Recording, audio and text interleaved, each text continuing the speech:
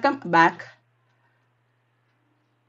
ഇന്ന് നമ്മൾ principles of feeding എന്ന ചാപ്റ്ററിലെ അടുത്ത ഒരു പ്രധാനപ്പെട്ട ഭാഗത്തേക്ക് കിടക്കുകയാണ്. കൊമേഴ്ഷ്യൽ ഫീഡ് ഫോർ കാറ്റിൽ നമ്മൾ കഴിഞ്ഞ ക്ലാസ്സുകളിൽ എങ്ങനെയാണ് ഫീഡ് ഇൻഗ്രീഡിയൻസ് സെലക്ട് ചെയ്യേണ്ടതെന്നും എന്തൊക്കെയാണ് സാധാരണയായിട്ട് ഫീഡ് ഇൻഗ്രീഡിയൻസിൽ ഉൾപ്പെടുത്തേണ്ട വസ്തുക്കളെന്നും അതിന് ശാസ്ത്രീയ വശം എന്തൊക്കെയാണെന്നും ഒക്കെ പഠിച്ചു കഴിഞ്ഞിരിക്കുന്നു. എല്ലാവരും കഴിഞ്ഞ സ്ലൈഡുകളെല്ലാം കണ്ടിട്ടുണ്ട് എന്ന് വിശ്വസിക്കുന്നു. ഇന്ന് നമ്മൾക്ക് സാധാരണ നിന്നും വ്യത്യസ്തമായിട്ട് നമ്മൾക്ക് മാർക്കറ്റിൽ അവൈലബിൾ ആയിട്ടുള്ള കൊമേഴ്ഷ്യൽ ഫീഡ് കൂടാതെ രണ്ട് പ്രധാനപ്പെട്ട ഫീഡുകളാണ് ഡിസ്കസ് ചെയ്യാൻ പോകുന്നത്.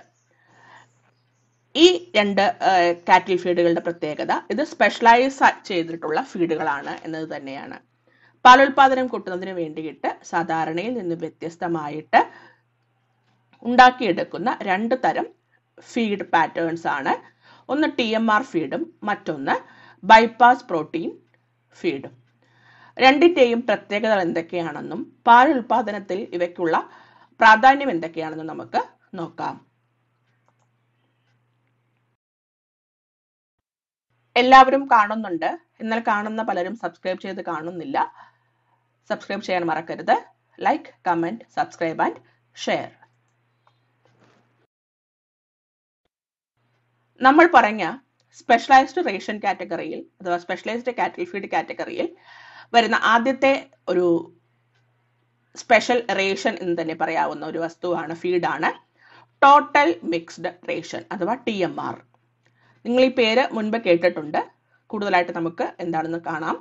ടി എം ആർ പലപ്പോഴും പി എസ് സി പരീക്ഷയ്ക്ക് ചോദിക്കാൻ സാധ്യതയുണ്ട്. ഇപ്രാവശ്യം മിക്കവാറും ചോദിക്കുമെന്ന് തോന്നുന്ന ഒരു ചോദ്യമാണ്. ടി എം ആർ എന്നാൽ എന്താണ്? Total mixed ration T M R എന്നാൽ ടോട്ടൽ മിക്സ്ഡ് റേഷൻ പേരിൽ സൂചിപ്പിക്കുന്ന പോലെ തന്നെ ഇതൊരു മിക്സ്ഡ് റേഷൻ ആണ്. അതായത് ദൈനംദിന ഭക്ഷണമായിട്ട് കൊടുക്കാൻ പറ്റിയ ഒരു റേഷൻ ആണ്. ടി എം ആർ എന്ന് പറയുന്നത്. നമ്മൾ എങ്ങനെയാണോ സാധാരണഗതിയിൽ കാറ്റിൽ ഫീഡ് കൊടുക്കുന്നത് അതുപോലെ തന്നെ നേരിട്ടോ വെള്ളത്തിൽ മിക്സ് ചെയ്തോ നമുക്ക് കൊടുക്കാവുന്ന തരത്തിലുള്ള ടി എം ആർ റേഷൻസ് നമുക്ക് അവൈലബിൾ ആണ്. ഇത് നമുക്ക് നമുക്ക് തന്നെ വീട്ടിൽ പ്രിപ്പയർ ചെയ്യാവുന്നതുമാണ്. അല്ലാതെ മാർക്കറ്റിൽ കൊമേഴ്ഷ്യൽ ആയിട്ട് അവൈലബിളുമായിട്ടുള്ള ടി എം ആർ റേഷൻസ് ഉണ്ട്. ആയിരത്തി തൊള്ളായിരത്തി അൻപത് മുതൽക്ക് തന്നെ ഡെവലപ്ഡ് കൺട്രീസിൽ ഇത് ശീലിച്ചു വരുന്ന ഒരു റേഷൻ ആയിരുന്നു എന്നാൽ നമ്മുടെ നാട്ടിൽ ഇതിനെപ്പറ്റിയുള്ള അറിവില്ലായ്മ കാരണം ഇന്നും പലരും ഇത് ഉപയോഗിച്ച് കാണുന്നില്ല. എന്നാൽ പുതുതായി തുടങ്ങുന്ന പല ഫാമുകളിലും ഈ ടി എം ആർ റേഷൻ ഇപ്പോൾ ഉപയോഗിച്ച് വരുന്നുണ്ട്. വളരെ അധികം മുതൽ മുടക്ക് കുറച്ചു മതിയാകുന്ന ഒരു വാഗൺ ഉണ്ടെങ്കിൽ നമ്മൾക്ക് തന്നെ നമ്മുടെ ഫാമിൽ ഉണ്ടാക്കിയെടുക്കാവുന്ന ഒരു മെത്തേഡ് ഓഫ് റേഷൻ ആണ് ടി എം ആർ റേഷൻ എന്ന് പറയുന്നത്. ഇത് ഡയറി കാറ്റലിസിന് വേണ്ടി സ്പെഷ്യലൈസ് ചെയ്തിരിക്കുന്ന ഒരു മെത്തേഡ് ഓഫ് റേഷനിങ് ആണ്. അതായത് പാൽ ഉൽപാദനം കൂട്ടുവാൻ വേണ്ടിയിട്ട് തന്നെയാണ് ഈ ഒരു മെത്തേഡ് ഉപയോഗിച്ചു വരുന്നത്. ഇതിന്റെ പ്രത്യേകത ഓരോ ഭക്ഷണം എടുക്കുമ്പോഴും അതായത് ഓരോ ബൈറ്റ് എടുക്കുമ്പോഴും അതിൽ മുഴുവൻ പോഷണവും നമ്മുടെ പശുക്കൾക്ക് ലഭിക്കുന്നു എന്ന് ഉറപ്പുവരുത്തുന്നു ഈ ഒരു ടി എം ആർ ഡയറ്റാണ് ഫോളോ ചെയ്യുന്നതെങ്കിൽ. റഫേജ് ഫീഡിംഗ് കോൺസെൻട്രേറ്റ് ഫീഡിംഗ് എന്ന് പറയുന്ന രണ്ട് കാറ്റഗറി ഓഫ് ഫീഡിങ്ങിന്റെ ആവശ്യം ഒന്നും തന്നെ വരുന്നില്ല. ആകെ മൊത്തം നമ്മൾ ടി എം ആർ ഫീഡിംഗ് എന്ന് പറയുന്ന റേഷൻ ആണ് ഇവിടെ കൊടുക്കുന്നത്. അതിൽ റഫേജും കോൺസെൻട്രേറ്റ്സും ഉൾക്കൊള്ളുന്നു. നമുക്ക് അഡീഷണൽ ആയിട്ട് പിന്നെ നമുക്ക് ഫീഡ് ചെയ്യേണ്ടി വരിക. ഓൺലി എന്താണ്? വാട്ടറിംഗ് മാത്രം നമ്മൾ ചെയ്താൽ മതി. ഒരു ഓട്ടോമാറ്റിക് വാട്ടറിംഗ് സിസ്റ്റവും ടി എം ആർ ഫീഡിങ്ങും ഉണ്ടെങ്കിൽ ഫീഡ് ചെലവ് ഫീഡിങ്ങിന് വേണ്ടിയിട്ടുള്ള തൊഴിലാളികളുടെ ചിലവ് ഒക്കെ നമുക്ക് സുഖമായിട്ട് കുറച്ച് കൊണ്ടുവരാം. കുറച്ച് ഒരു സയന്റിഫിക് നോളേജ് ആവശ്യമുണ്ട് എന്ന് മാത്രമേ ടി എം ആർ ഫീഡിങ്ങിൽ നമുക്ക് ശ്രദ്ധിക്കാനായിട്ട് ഉള്ളൂ. അപ്പോൾ നമ്മൾ ഇവിടെ ശ്രദ്ധിക്കുന്ന ശ്രദ്ധിക്കേണ്ട കാര്യം നമ്മൾ കൊടുക്കുന്ന ഭക്ഷണം നമ്മുടെ ഉദ്ദേശം എന്താണ്? പൂർണമായിട്ടും ന്യൂട്രിയന്റ് കണ്ടന്റ് ഉള്ള ഭക്ഷണം ഓരോ കടിയിലും എവറി ബൈറ്റിലും നമ്മുടെ പശുക്കൾക്ക് കിട്ടുന്നു.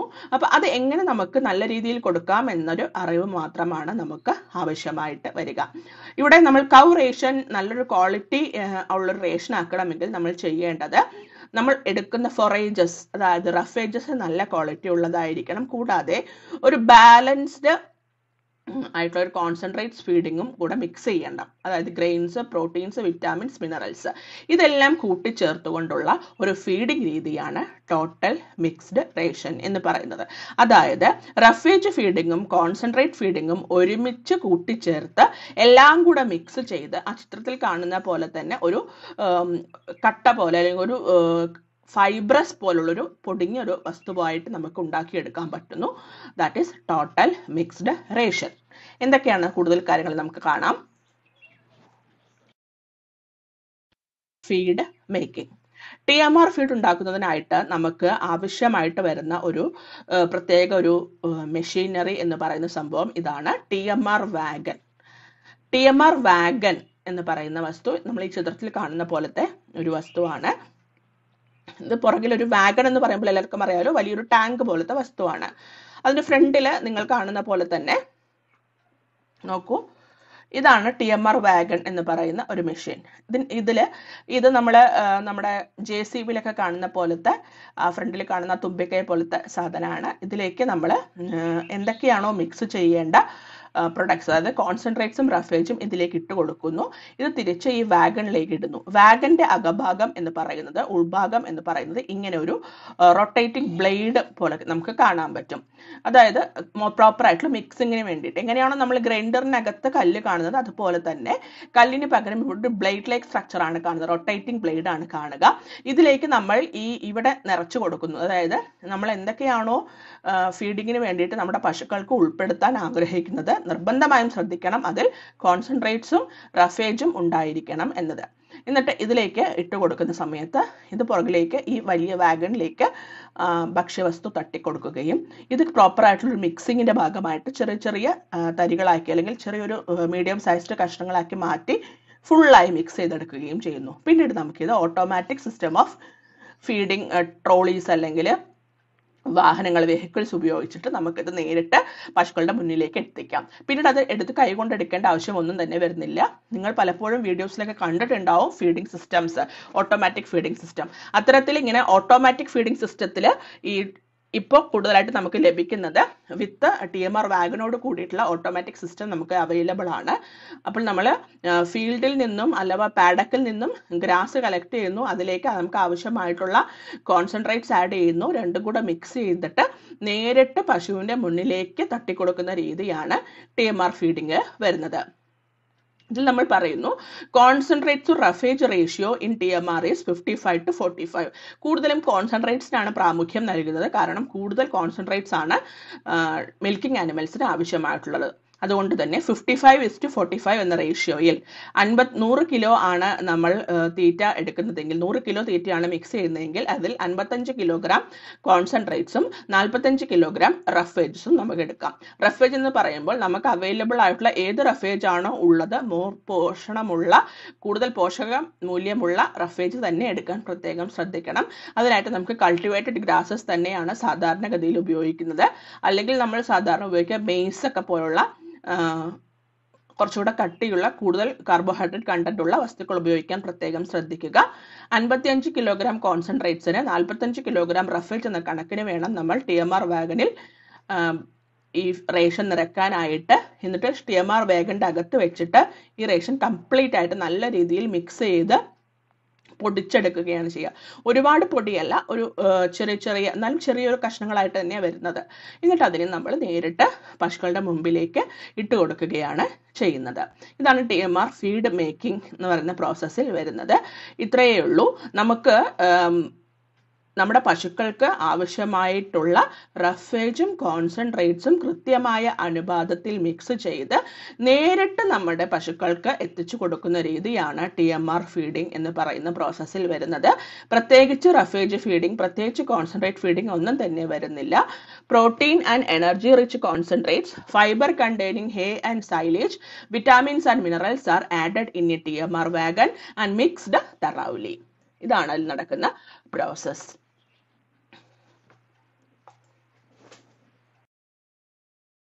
പറഞ്ഞ TMR wagon for mixing T M R feed ഇത്തരത്തിലുള്ള വാഗൺസ് നമുക്ക് കൊമേഴ്ഷ്യലായിട്ട് നമുക്ക് വാങ്ങിക്കാൻ കിട്ടുന്നു. ഫീൽഡിൽ നിന്നും കളക്ട് ചെയ്തിരിക്കുന്ന roughage already mix already T M R വാഗണിലേക്ക് ഇട്ട കോൺസെൻട്രേറ്റ്സുമായിട്ട് മിക്സ് ചെയ്തിട്ട് നേരിട്ട് ഈ വണ്ടി നമ്മുടെ ഫീൽഡിനകത്തേക്ക് അഥവാ ഫാമിന്റെ അകത്തേക്ക് പോകാനും വരാനും പറ്റും. അതിനുള്ള സൗകര്യത്തോട് കൂടിയിട്ടുള്ള ഫാംസ് ആയിരിക്കും ഇപ്പോൾ കൂടുതലായിട്ടും സെറ്റ് ചെയ്ത് വരുന്നത്. വിദേശ രാജ്യങ്ങളിൽ നിങ്ങൾ കണ്ടിട്ടുണ്ടെങ്കിൽ അറബിക്കഥ എന്ന് പറയുന്ന സിനിമയിൽ കണ്ടിട്ടുണ്ടെങ്കിൽ നേരിട്ട് നിങ്ങൾക്കത് കാണാം.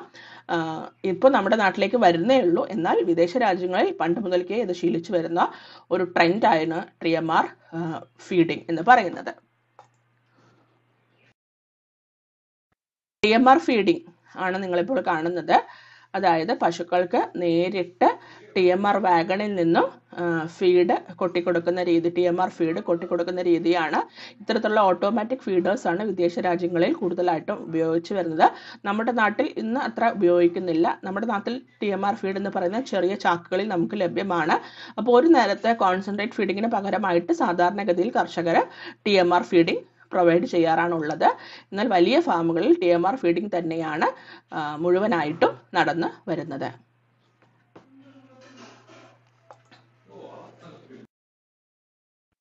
Conventional T M R feed എന്താണ് conventional T M R feed conventional T M R ഫീഡിങ്ങിൽ ചെയ്യുന്ന കാര്യങ്ങൾ എന്താണെന്ന് നമുക്ക് വായിച്ചു നോക്കാം. Chopped green fodders or silage രണ്ടും നമുക്ക് ഉപയോഗിക്കാം. Blended with cereals cereal by products cereals എന്തൊക്കെയാണ്? ധാന്യങ്ങൾ അല്ലേ?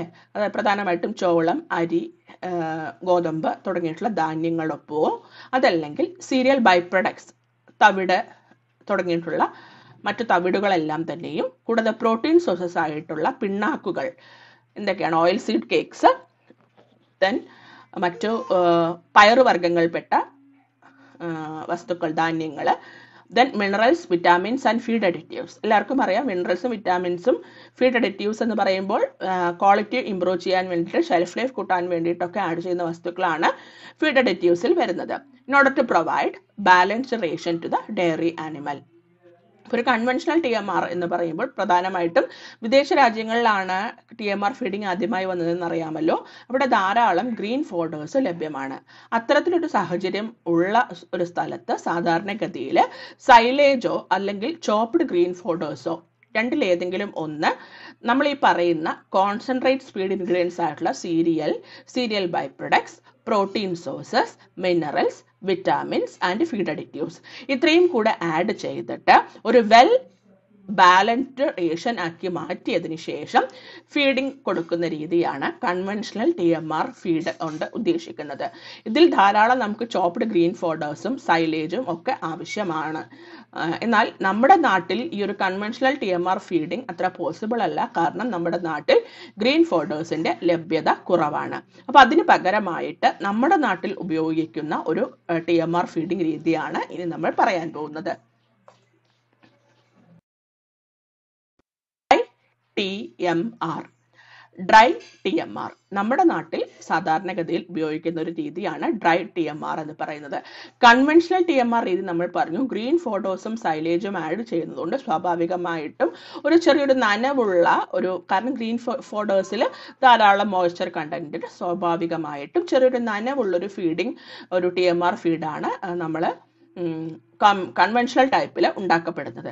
എന്നാൽ നമ്മുടെ നാട്ടിൽ നമ്മുടെ നാട്ടിൽ നമ്മുടെ ഇന്ത്യയിലെ പ്രത്യേകത എന്താണ്? ചെറിയ ചെറിയ കർഷകരാണ്. അവർക്ക് ഇതുപോലെ വലിയ പുൽമേടുകളോ പുൽത്തോട്ടങ്ങളോ ഒന്നും തന്നെ ഉണ്ടാവുന്നില്ല. അവിടെ ഏറ്റവും കൂടുതൽ ബാക്കി വരുന്നത് എന്ന് പറയുന്നത് ക്രോപ്പ് റെസിഡ്യൂസ് തന്നെയാണ്. നേരിട്ട് നമ്മൾ പുല്ലോ അല്ലെങ്കിൽ ചോളത്തിന്റെ ചെടിയോ നമ്മൾ ഒരിക്കലും കൊടുക്കാറില്ല.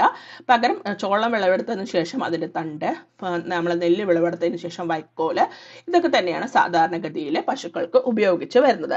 സ്വാഭാവികമായിട്ടും നമ്മുടെ നാട്ടിൽ ക്രോപ്പ് നേരിട്ട് കൊടുക്കുന്നില്ല. ക്രോപ്പ് റെസിഡ്യൂ ബേസ്ഡ് ആയിട്ടുള്ള ടി എം ആർ ആണ് പ്രാക്ടീസ് ചെയ്ത് വരുന്നത്.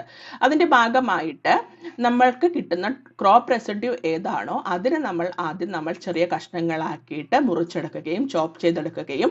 അതിലേക്ക് നമ്മുടെ നാട്ടിൽ എന്താണോ അവൈലബിൾ ആയിട്ടുള്ള കാർബോഹൈഡ്രേറ്റ് കണ്ടന്റ് ഉള്ളതും പ്രോട്ടീൻ കണ്ടന്റ് ഉള്ളതും ഒക്കെ ആയിട്ടുള്ള ഫീഡ് ഫീഡ് ഇൻഗ്രീഡിയൻസ് മിക്സ് ചെയ്ത് നമ്മുടേതായ രീതിയിലുള്ളൊരു ഡ്രൈ ആയിട്ടുള്ള ടി എം ആർ ആണ് നമ്മുടെ നാട്ടിൽ ഉണ്ടാക്കി എടുക്കുന്നത്. ഇതൊരു പൊടി രൂപത്തിൽ അല്ലെങ്കിൽ ഒരു കട്ടയുടെ രൂപത്തിലൊക്കെയാണ് ഉണ്ടാക്കി എടുക്കപ്പെടുന്നത്. ഇത് നമുക്ക് ഏകദേശം നമുക്ക് സുഖമായിട്ട് രണ്ട് മുതൽ മൂന്ന് ആഴ്ചയോളം നമുക്ക് സ്റ്റോർ ചെയ്ത് വെക്കാനും ഒരു സ്ഥലത്ത് നിന്നും മറ്റൊരു സ്ഥലത്തേക്ക് ട്രാൻസ്പോർട്ട് ചെയ്യാനും ഒക്കെ വളരെ എളുപ്പമാണ്. എന്നാൽ കൺവെൻഷണൽ ടി എം ആറിന്റെ പ്രത്യേകത അന്ന് മിക്സ് ചെയ്ത റേഷൻ അന്ന് തന്നെ നിർബന്ധമായും കൊടുക്കണം. കാരണം മോയ്സ്ചറിന്റെ പ്രസൻസ് ഉള്ളത് കൊണ്ട് പെട്ടെന്ന് നശിച്ചു പോകും. അപ്പോൾ ഡ്രൈ ടി എം ആറും കൺവെൻഷണൽ ടി എം ആറും തമ്മിലുള്ള പ്രധാന വ്യത്യാസം എന്ന് പറയുന്നത് പ്രസൻസ് ഓഫ് മോയ്സ്ചർ തന്നെയാണ്. കൂടാതെ സ്റ്റോർ ചെയ്ത് വെക്കാനുള്ള കപ്പാസിറ്റി കൂടുതലായിട്ടും വരുന്നത് ഡ്രൈ ടി എം ആറിൽ തന്നെയാണ്. എന്തൊക്കെയാണ് ഡ്രൈ ടി എം ആറിന്റെ അഡ്വാന്റേജസ് എന്ന് നമുക്ക് നോക്കാം. ഡ്രൈ ടി എം ആറിന്റെ പ്രധാനപ്പെട്ട അഡ്വാന്റേജ് എന്ന് പറയുന്നത് ഫീഡ് വേസ്റ്റേജ് വളരെ കുറച്ച് കൊണ്ടുവരാൻ പറ്റുന്നു. കൂടാതെ ധാരാളം ഫൈബർ കണ്ടന്റ് ഉള്ള ഭക്ഷ്യവസ്തു ആയതിനാൽ റൂമൻ എൻവയോൺമെന്റിനും ഡൈജസ്റ്റബിലിറ്റിക്കും ചാൻസ് വളരെ കൂടുതലാണ്. റൂമനിൽ ഡൈജഷന് ധാരാളം ഫൈബർ ഡൈജഷൻ ഫൈബർ ആവശ്യമാണ് സ്വാഭാവികമായിട്ടും. Dry T M R method of feeding ആവുമ്പോൾ കുറച്ചുകൂടെ റൂമൻ നല്ല ആക്റ്റീവ് ആവുകയും അതുവഴി കൂടുതൽ അമിനോ ആസിഡ്സ് ആസിഡ്സിന്റെ ഉൽപ്പാദനം നമുക്ക് ഉറപ്പുവരുത്താനും പറ്റുന്നു. കൂടാതെ ഡ്രൈ ടി എം ആറിന്റെ മറ്റൊരു പ്രത്യേകതയാണ് ദേ ക്യാൻ ബി കസ്റ്റമൈസ്ഡ് നമുക്ക് ഇഷ്ടമുള്ള റഫേജ് കൊണ്ടും കോൺസെൻട്രേറ്റ്സ് കൊണ്ടും നമുക്ക് ഉണ്ടാക്കിയെടുക്കാൻ പറ്റുന്നു. കസ്റ്റമൈസ് നമുക്ക് ചെയ്യാൻ പറ്റും അതായത് സാധാരണഗതിയിൽ നമ്മൾ പറയുന്ന traditional type of T M R എന്ന് പറയുന്ന സമയത്ത് അത് ലാക്ടേഷൻ ആനിമൽക്ക് ആനിമൽസിന് ഒരിക്കലും നമുക്ക് കൊടുക്കാൻ പറ്റില്ല. കാരണം നമുക്ക് കസ്റ്റമൈസേഷൻ പോസിബിൾ അല്ല. എന്നാൽ നമ്മുടെ നാട്ടിൽ നമ്മൾ തന്നെ പ്രിപ്പയർ ചെയ്യുന്നത് കൊണ്ട് ഓരോ സ്റ്റേജസിലുമുള്ള ആനിമൽസിനെ നമുക്ക് കസ്റ്റമൈസ് ചെയ്തിട്ടുള്ള ഫീഡിങ് നമുക്ക് പ്രൊവൈഡ് ചെയ്യാൻ പറ്റുന്നു. Then roughage portion of the T M R സാധാരണഗതിയിൽ നമ്മുടെ നാട്ടിൽ ഉപയോഗിച്ച് വരുന്നത് നമ്മൾ പറഞ്ഞു. ക്രോപ്പ് റെസിഡ്യൂസ് ഒക്കെയാണ്. Wheat straw paddy straw dry sugarcane tops etcetera ഇതൊക്കെയാണ് നമ്മൾ ഉപയോഗിച്ച് വരുന്നത്. ഇത് നമ്മുടെ നാട്ടിൽ ധാരാളം ഉണ്ടാക്കി എടുക്കുന്നു. അല്ലെങ്കിൽ നമ്മുടെ നാട്ടിൽ ധാരാളം കൃഷി ചെയ്യുന്നുണ്ട്. കേരളത്തിന്റെ കാര്യമല്ല പറയുന്നത്. നോർത്ത് ഇന്ത്യൻ സ്റ്റേറ്റ്സിന്റെ കാര്യമാണ് പറയുന്നത്. അതുകൊണ്ട് തന്നെ പലപ്പോഴും നിങ്ങൾ കേട്ടിട്ടുണ്ടാവും കൃഷി വിളവെടുപ്പിന് ശേഷം കൃഷിക്കാര് എന്ത് ചെയ്യുന്നു? ഇതിന് നമ്മളെ ഫീൽഡിലിട്ട് തന്നെ കത്തിച്ച് കളഞ്ഞിട്ട് ധാരാളം ഈ പുകയുടെ പ്രശ്നം അന്തരീക്ഷത്തിൽ ഉണ്ടാവാറുണ്ട്. ഇത് ഉപയോഗിക്കാത്തത് കൊണ്ട്. എന്നാൽ ഇത്തരത്തിലുള്ള ടി എം ആർ ഫീഡിംഗ് എന്ന് പറയുന്ന പ്രോസസ്സ് വന്നതോടുകൂടി ഇത്തരത്തിൽ വരുന്ന ക്രോപ്പ് റെസിഡ്യൂസും നമുക്ക് ഉപയോഗിക്കാൻ പറ്റുന്നു. അതുവഴി നമ്മുടെ പശുക്കൾക്കുള്ള ഫീഡുമായി കൂടാതെ അന്തരീക്ഷ മലിനീകരണം ഒരു പരിധിവരെ നമുക്ക് കുറയ്ക്കാനും കഴിയുന്നുണ്ട്.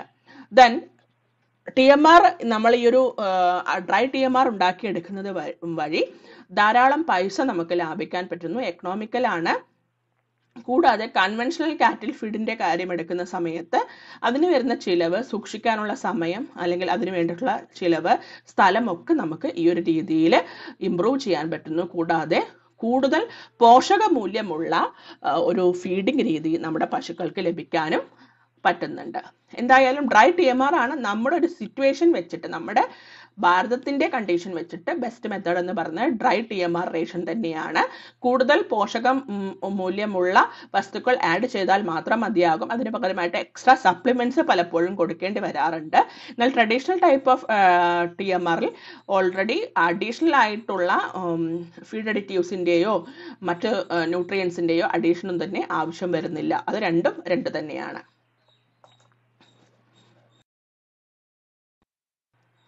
ഇനി advantages of T M R feeding T M R ഫീഡിങ്ങിന്റെ പ്രധാനപ്പെട്ട അഡ്വാന്റേജ് നമ്മൾ പറഞ്ഞത് തന്നെയാണ് ഒന്നുകൂടെ ഓർമ്മിപ്പിക്കുന്നു.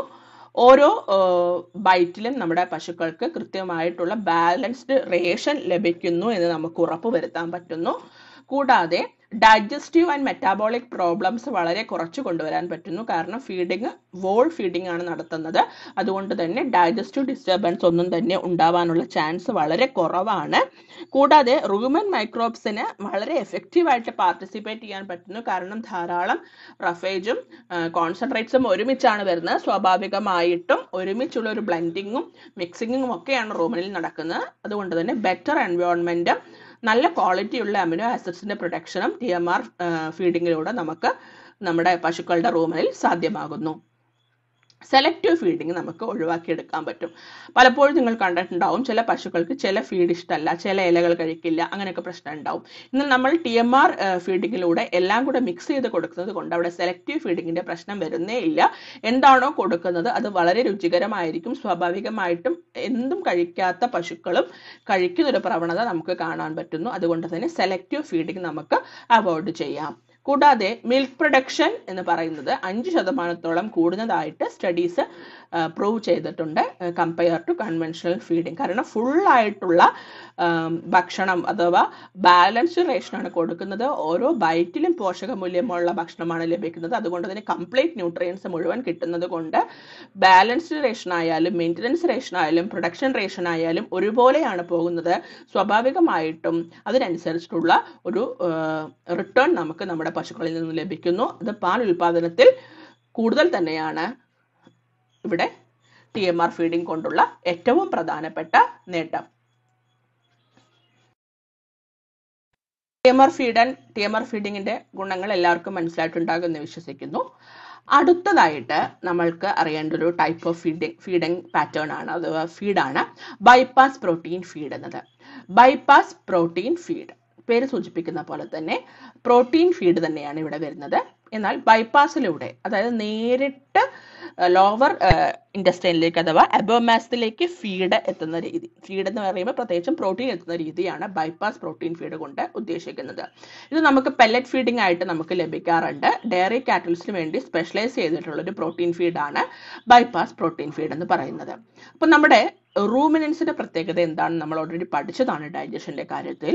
റൂമിനൻസിന്റെ പ്രത്യേകത ലോ ക്വാളിറ്റി പ്രോട്ടീൻ ഫീഡ് കൊടുത്തു കഴിഞ്ഞാൽ അത് ഹൈ ക്വാളിറ്റി പ്രോട്ടീൻ ഫീഡ് ആക്കി മാറ്റാനുള്ള കഴിവ് അഥവാ നോൺ നൈട്രോജീനസ് ഫീഡിൽ നിന്നും അമിനോ ആസിഡ്സ് ഉണ്ടാക്കിയെടുക്കാനുള്ള കഴിവ് നമ്മുടെ പശുക്കൾക്കുണ്ട്. റൂമിനൻസിനുണ്ട് എങ്ങനെയാണ്? ത്രൂ റൂമൻ ഫെർമെന്റേഷൻ ഫെർമെന്റേഷന്റെ ഭാഗമായിട്ട് ലോ ക്വാളിറ്റി പ്രോട്ടീൻ സോഴ്സിൽ നിന്നും ഹൈ ക്വാളിറ്റി പ്രോട്ടീൻ ഉണ്ടാക്കാനുള്ള കഴിവ് നമ്മുടെ റോമിൻസിനുണ്ട് എന്നതൊരു സത്യം തന്നെയാണ്. എന്നാൽ നമ്മൾ എത്ര തന്നെ നല്ല പ്രോട്ടീൻ സോഴ്സ് ഉള്ള ഭക്ഷണം കൊടുത്താലും ഇതേ ഒരു പ്രോസസ്സ് തന്നെയാണ് നടക്കുന്നത്. എന്നാൽ നമ്മൾ ഹൈ ക്വാളിറ്റി പ്രോട്ടീൻ കൊടുത്തേക്കാം എന്ന് കരുതി കൊടുത്തു കഴിഞ്ഞാലോ ഇതും മൈക്രോബിയൽ ഫെർമെന്റേഷന് വിധേയമാവുകയും നമ്മൾ കൊടുക്കുന്ന പ്രോട്ടീനിന്റെ അൻപത് ശതമാനം മാത്രമേ ഇഫക്റ്റീവ് ആയിട്ട് നമ്മുടെ പശുക്കൾക്ക് ലഭിക്കുകയുള്ളൂ. സ്വാഭാവികമായിട്ടും നമ്മൾക്ക് വിചാരിക്കാം അങ്ങനെ പോരെ എന്ന്. എന്നാൽ ലോ പ്രൊഡ്യൂസിങ് കാറ്റിൽസിന് അത് വലിയ പ്രശ്നമില്ല. എന്നാൽ ഹൈ പ്രൊഡ്യൂസിങ് ആനിമൽസിന്റെ കാര്യം എടുക്കുന്ന സമയത്ത് അത് നമുക്ക് വലിയ നഷ്ടത്തിലേക്ക് കലാശിക്കും. കൃത്യമായിട്ടുള്ള പോഷണം മുഴുവനായി ലഭിച്ചു കഴിഞ്ഞാലുള്ള പ്രൊഡക്ഷൻ സ്വാഭാവികമായിട്ടും കൂടുതലായിരിക്കും എന്നത് സ്റ്റഡീസ് പ്രൂവ് ചെയ്തിരിക്കുന്നു. അപ്പോൾ എന്താണ് ആക്ച്വലി പ്രശ്നം എന്ന് വെച്ചാൽ ബൈപ്പാസ് പ്രോട്ടീൻ ഫീഡ് കൊടുക്കുന്ന സമയത്ത് റൂമിനിൽ വെച്ച് ഫെർമെന്റേഷൻ നടക്കാതെ ആ കൊടുക്കുന്ന പ്രോട്ടീൻ മുഴുവനായിട്ടും നമ്മുടെ അനിമൽസിന് കിട്ടുന്നു. ഇതെങ്ങനെ സാധ്യമാകുന്നു എന്നാണ് പറയുന്നത്. ബൈപ്പാസ് പ്രോട്ടീൻ എന്താണ്? Is an animal or plant based protein source that resist degradation in cow rumen in order to pass into the lower gastrointestinal tract and provide essential amino acids to cow. അപ്പൊ നമ്മൾ നേരിട്ട് കൊടുക്കുന്ന ഒരു ഭക്ഷണ വസ്തുവിലുള്ള മുഴുവനായിട്ടുള്ള protein അതിലടങ്ങിയിരിക്കുന്ന essential amino acids നമ്മുടെ പശുക്കൾക്ക് റൂമനിലേക്ക് എത്തിയാലും അത് ഡീഗ്രേഡ് ആവാതെ നശിച്ചു പോകാതെ മുഴുവനായിട്ടും ഉള്ള പോഷണം നമ്മുടെ പശുക്കൾക്ക് ലഭിക്കുന്നുണ്ട് എന്ന് ഉറപ്പുവരുത്താം. ബൈ ബൈപാസിംഗ് ദ റൂമൻ റൂമനിൽ കയറിയാലും നശിക്കാതെ വരുന്ന പ്രോട്ടീൻ നമ്മുടെ പശുക്കളുടെ പാലുൽപാദനത്തിനും മറ്റാവശ്യങ്ങൾക്കും വേണ്ടിയിട്ട് നേരിട്ട് ഉപയോഗിക്കാൻ പറ്റുന്നു. അപ്പൊ ഇതിനു വേണ്ടിയിട്ട് ചെയ്യുന്ന കാര്യങ്ങൾ എന്തൊക്കെയാണെന്ന് നമുക്ക് നോക്കാം. നമ്മൾ പറഞ്ഞ പോലെ തന്നെ നമ്മൾ കൊടുക്കുന്ന ഭക്ഷ്യവസ്തു ഒരു കാരണവശാലും റൂമനിൽ വെച്ചിട്ട് ഡീഗ്രഡേഷൻ ഉണ്ടാവരുത് നശിച്ചു പോകരുത് അത് അഥവാ ഫെർമെന്റേഷന് വിധേയം ആവരുത്. ഇതിനു വേണ്ടിയിട്ട് നമ്മൾ ചെയ്യുന്ന കാര്യം എന്ന് വെച്ചാൽ they will be heat treated heat treatment അതല്ലാന്നുണ്ടെങ്കിൽ കെമിക്കൽ ട്രീറ്റ്മെന്റ് നമുക്ക് ചെയ്യാം. ഈ രണ്ട് രീതിയിലാണ് നമ്മൾക്ക് നമ്മൾ കൊടുക്കുന്ന ഭക്ഷണത്തിലുള്ള അമിനോ ആസിഡ്സിന്റെ പ്രോട്ടീന്റെ ക്വാളിറ്റി കുറയാതെ നേരിട്ട് അബോമാസത്തിലേക്ക് എത്തിക്കുന്ന രീതി. രണ്ട് രീതികൾ ഏതൊക്കെയാണ്? ഹീറ്റ് ട്രീറ്റ്മെന്റ് അല്ലെങ്കിൽ കെമിക്കൽ ട്രീറ്റ്മെന്റ് ഇതിൽ കൂടുതലായിട്ടും പ്രാക്ടീസ് ചെയ്ത് വരുന്നത് കെമിക്കൽ ട്രീറ്റ്മെന്റ് ആണ് with the help of formaldehyde. Formaldehyde എന്ന് നമുക്ക് എല്ലാവർക്കും അറിയാം ഹോർമാലിൻ ഫോർമാൾഡിഹൈഡിന്റെ സഹായത്താൽ സ്പെഷ്യലി ട്രീറ്റ് ചെയ്ത പ്രോട്ടീൻ സോഴ്സിനെയാണ് നമ്മൾ ഫീഡിൽ മിക്സ് ചെയ്ത് കൊടുക്കുന്നത്. സ്വാഭാവികമായിട്ടും ഇത്തരത്തിൽ ട്രീറ്റ് ചെയ്യപ്പെട്ട ഫീഡ് ഒരു കാരണവശാലും റൂമനിൽ വെച്ചിട്ട് ഫെർമെന്റേഷന് വിധേയമാകാതിരിക്കുകയും നേരിട്ട് അബോമാസത്തിലേക്ക് എത്തുകയും നമ്മൾ കൊടുക്കുന്ന ഫീഡിൽ എത്രത്തോളം അമിനോ ആസിഡ് ഉണ്ടോ അത് മുഴുവനായും നമ്മുടെ പശുക്കൾക്ക് ലഭിക്കുകയും ചെയ്യുന്നു. ഫോർമാൽഡിഹൈഡ് ട്രീറ്റ്മെന്റ് എന്ന് പറഞ്ഞല്ലോ. എന്താണ് ഫോർമാൽഡിഹൈഡ് ട്രീറ്റ്മെന്റ് എന്ന് നമുക്ക് നോക്കൂ. Treatment of high quality protein result in the formation of cross link with amino group and make the protein less susceptible to microbial attack high quality പ്രോട്ടീന്റെ ട്രീറ്റ്മെന്റിന്റെ ഭാഗമായിട്ട് ക്രോസ് ലിങ്ക്സ് അമിനോ ആസിഡുമായിട്ട് cross links ധാരാളമായി ഉണ്ടാവുകയും അതിന്റെ ഭാഗമായിട്ട് മൈക്രോബ്സിന് attack ചെയ്താലും ഇത് നശിച്ചു പോകാതെ സ്ട്രോങ് ആയിട്ട് അവിടെ ഇരിക്കുകയും ചെയ്യും. എന്നാൽ ഈ ബോൺസ് ഉണ്ടായിരിക്കുന്ന cross link bonds neutral P H ആവുന്ന സമയത്ത് എന്ത് നടക്കുന്നില്ല? ന്യൂട്രൽ പി എച്ച് എവിടെയാണ് ഉണ്ടാവുക റൂമനിലാണ് ന്യൂട്രൽ പി എച്ച്. സ്വാഭാവികമായിട്ടും അസറ്റിക് പി എച്ച് ആവുന്ന സമയത്ത് മാത്രമേ ഇത് ക്രോസ് ലിങ്ക് വിട്ട് സാധാരണ സിമ്പിൾ ചെയിൻ ആയിട്ട് മാറുകയുള്ളൂ. അതിന്റെ ഭാഗമായിട്ട് റൂമനിൽ എപ്പോഴും ന്യൂട്രൽ പി എച്ച് ആണ്. എന്നാൽ നമ്മുടെ അബോമാസിൽ എത്തുമ്പോൾ അവിടെ അസറ്റിക് പി എച്ച് ആണ് ഹൈഡ്രോക്ലോറിക് ആസിഡിന്റെ പ്രസൻസിൽ സ്വാഭാവികമായിട്ടും റൂമിനിൽ വെച്ച് ന്യൂട്രൽ പി എച്ച് ആയതിനാൽ അവിടെ വെച്ച് അമിനോ ആസിഡ്സ് ഒന്നും തന്നെ ഫെർമെന്റേഷന് വിധേയമാകുന്നില്ല. എന്നാൽ അബോമാസത്തിൽ എത്തുന്ന സമയത്ത് അസിഡിക് പി എച്ച് ആയതിനാൽ എളുപ്പത്തിൽ അത് നമ്മുടെ പശുക്കൾക്ക് സിമ്പിൾ അമിനോ ആസിഡ് ആക്കി കൺവേർട്ട് ചെയ്യാൻ പറ്റുകയും ചെയ്യുന്നു അറ്റ് ലോവർ ഡയജസ്റ്റീവ് ട്രാക്ട് അപ്പോൾ അതാണ് അതിന്റെ സയന്റിഫിക് പ്രോസസ് എന്ന് പറയുന്നത്. ഇത്രയേ ഉള്ളൂ. റൂമനിൽ വെച്ചിട്ട് ന്യൂട്രൽ പി എച്ച് ആയതിനാൽ അവിടെ നമ്മൾ കൊടുക്കുന്ന എക്സ്ട്രാ ട്രീറ്റഡ് ആയിട്ടുള്ള അമിനോ ആസിഡ് ആയതിനാൽ പ്രോട്ടീൻ ആയതിനാൽ ഡീഗ്രഡേഷൻ നടക്കാതെ ഫെർമെന്റേഷന് വിധേയമാകുന്നില്ല. എന്നാൽ നമ്മുടെ അബോമാസം അഥവാ ലോവർ ഡൈജസ്റ്റീവ് ട്രാക്ട് ആവുന്ന സമയത്ത് അവിടെ അസിഡിക് പി എച്ച് ആണ്. കാരണം എച്ച് സി എൽ ഉണ്ടാവും ഡൈജഷന്റെ ഭാഗമായിട്ട്. സ്വാഭാവികമായിട്ടും അവിടെ വെച്ച് മാത്രം ഡൈജഷന് പ്രോട്ടീൻ ഡൈജഷൻ നടക്കുകയും നമ്മൾ കൊടുക്കുന്ന ഹൈ ക്വാളിറ്റി പ്രോട്ടീൻ അതുപോലെ നമ്മുടെ പശുക്കൾക്ക് ലഭിക്കുന്നു എന്ന് ഉറപ്പുവരുത്തുന്നു ബൈ ഫോർമാൽഡിഹൈഡ് ട്രീറ്റ്മെന്റ് ഒരു കാര്യം ഓർമ്മിപ്പിക്കട്ടെ. നമ്മുടെ റൂമിനൻസിന്റെ അഥവാ നമ്മുടെ പശുക്കളുടെ ആരോഗ്യത്തിന് ഡീഗ്രേഡബിൾ പ്രോട്ടീൻസും ആവശ്യമാണ്. നോൺ ഡീഗ്രേഡബിൾ പ്രോട്ടീൻസും ആവശ്യമാണ്. സ്വാഭാവികമായിട്ടും നമ്മൾ ബൈപ്പാസ് പ്രോട്ടീൻ ഫീഡ് കൊടുക്കുന്ന സമയത്ത് അതിൽ ഡീഗ്രേഡബിൾ പ്രോട്ടീനും ഉണ്ടാകും നോൺ ഡീഗ്രേഡബിൾ പ്രോട്ടീനും ഉണ്ടാകും. എന്നാൽ മാത്രമേ നമ്മുടെ പശുക്കൾക്ക് ആവശ്യമായിട്ടുള്ള ഫുൾ അമിനോ ആസിഡ്സിന്റെ അവൈലബിലിറ്റി നമുക്ക് അഷ്യൂർ ചെയ്യാൻ പറ്റുകയുള്ളൂ. ഇതിൽ ഡീഗ്രേഡബിൾ അമിനോ ആസിഡ്സ് റൂമിനിൽ വെച്ചിട്ട് ഫെർമെന്റേഷന് വിധേയമാവുകയും വൊളറ്റൈൽ ഫാറ്റി ആസിഡ്സ് കാർബോഹൈഡ്രേറ്റിന്റെയും പ്രോട്ടീൻ ഡൈജഷൻ ആയിട്ടുള്ള വോളറ്റൈൽ ഫാറ്റി ആസിഡ്സും മറ്റു അമിനോ ആസിഡ്സും ഉണ്ടാകാൻ സഹായിക്കുന്നു. എന്നാൽ നോൺ ഡിഗ്രേഡബിൾ ആയിട്ടുള്ള ബൈപ്പാസ് പ്രോട്ടീൻ അഥവാ അതിന്റെ മറ്റൊരു പേരാണ് എസ്കേപ്പ് പ്രോട്ടീൻ ഓർത്ത് വെക്കുക നോൺ ഡിഗ്രേഡബിൾ ആയിട്ടുള്ള ബൈപ്പാസ് പ്രോട്ടീൻ അല്ലെങ്കിൽ എസ്കേപ്പ് പ്രോട്ടീന് എവിടെ വെച്ച് റൂമിനിൽ വെച്ചിട്ട് ഡീഗ്രഡേഷന് വിധേയമാകുന്നില്ല. നേരിട്ട് ലോവർ ഇൻഡസ്റ്റൈൻ അഥവാ അബോമാസത്തിലേക്ക് എത്തുകയും അവിടേക്ക് അവിടെ നിന്നും ഗുഡ് ക്വാളിറ്റി അമിനോ ആസിഡ് നമ്മുടെ പശുക്കൾക്ക് ലഭിക്കുകയും ചെയ്യുന്നു. അപ്പോൾ ഡീഗ്രേഡബിൾ ആയിട്ടുള്ള പ്രോട്ടീൻസും നോൺ ഡിഗ്രേഡബിൾ പ്രോട്ടീൻസും രണ്ടും നമ്മുടെ പശുക്കൾക്ക് ആവശ്യമാണ്. രണ്ടിന്റെയും ഒരു സംയോജനം നിർബന്ധമായും ആവശ്യമാണ്. നല്ല ഗ്രോത്തിനും ഡെവലപ്മെന്റും. എന്നാൽ പ്രൊഡക്ഷൻ എന്ന കാറ്റഗറി എടുക്കുന്ന സമയത്ത് ഹൈ പ്രൊഡക്ഷന് വേണ്ടിയിട്ടാണ് പ്രധാനമായിട്ടും ബൈപ്പാസ് പ്രോട്ടീൻസ് കൊടുക്കുന്നത് എന്ന് ഓർമ്മിപ്പിക്കുന്നു. ാണ് കൊമേഴ്ഷ്യൽ ഫീഡ് രണ്ട് തരത്തിലുള്ള കൊമേഴ്ഷ്യൽ ഫീഡ് നമ്മൾ പറഞ്ഞു. T M R feed and bypass protein feed രണ്ടും ഈ പരീക്ഷയ്ക്ക് ചോദിക്കാനുള്ള സാധ്യതയുള്ള ചോദ്യമാണ്. എല്ലാവർക്കും മനസ്സിലായിട്ടുണ്ടാകുമെന്ന് വിശ്വസിച്ചുകൊണ്ട് നിർത്തുന്നു. വീണ്ടും കാണാം. താങ്ക്